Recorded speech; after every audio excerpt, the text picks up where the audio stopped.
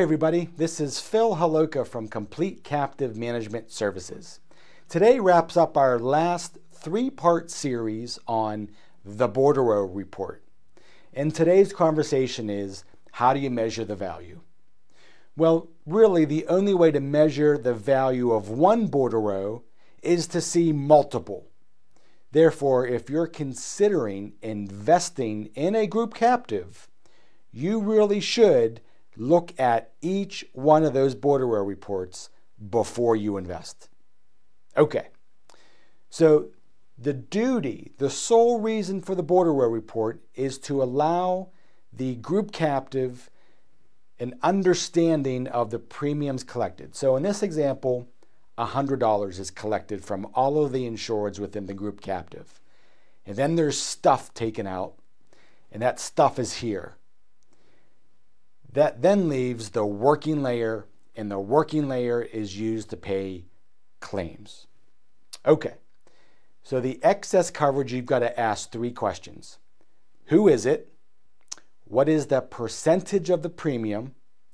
And what is the retention level? So once you've identified, you've answered these questions, you've got to get a bit granular on a few other things you've got to ask yourself is the excess carrier the same as the fronting carrier?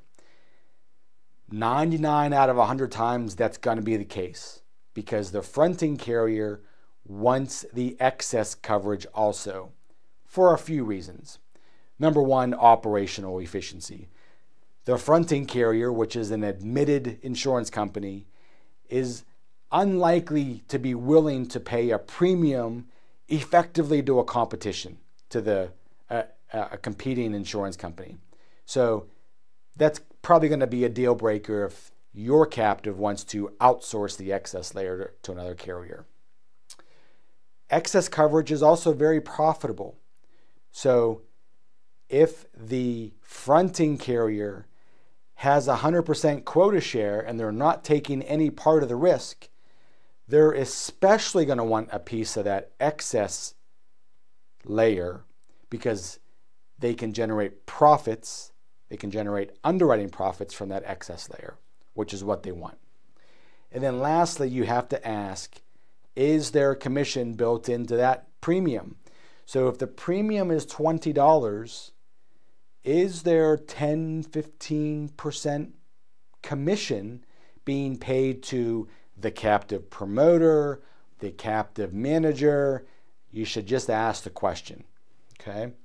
And as you know, with any insurance, when the retention levels go up, the premiums go down. So, how do you measure that value?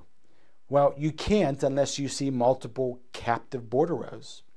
So, if captive one has a $250,000 floating layer and captive 2 has a $300, $300,000 floating layer, you would hope captive 2 has a lower percentage of the premium than captive number 1. Okay? Administration fees, fronting fee, underwriting fee, however it's labeled on the bordereau, it could be multiple, but it's a operational expense. So fronting and state premium tax are collected. Let's call that $13, 13%. Now, quota share. 100% quota share means the captive is not sharing any risk at the working layer with the fronting carrier. The captive is effectively just renting their paper. When it's 100% quota share, this number is going to be high because the fronting carrier is sacrificing its underwriting profits and replacing those profits with a fronting fee. Now, if your captive is 90 10, 80 20, 60 40 quota share, they take this number, the 20 or the 40, that is an additional profit opportunity for the fronting carrier Therefore, this fronting fee will be lower. Okay? So the higher this number, the lower the fronting fee because there's profit taking at the 20 or 40% level. Okay? Now, in a quota share arrangement, so either one of these, the fronting carrier is going to charge the captive for that. They're either going to take a percentage of their share, which is generally the number down here, the $67, or they're going to charge a premium for that. So in a 60 40 quota share, the captive may charge 35% for a 40% quota share, or they may charge 45% of a 40% quota share. That is dependent on the group, the, the individual insured, the risk profile, the location, lots of things that drive that, that number. Okay. So if the fronting carrier takes a percentage of their premium as their acceptance of that risk, it comes out here. So $100 minus $33 equals $67. If it's a 46 or 60 40 quota share, you're going to give the fronting carrier $26.80. The captive's going to keep $40.20 to pay for 60% of the claims that come in. Okay, so let's assume for a minute that this $67 really represents a million dollars of collected premium from all of the insureds. And there are $900,000 of losses.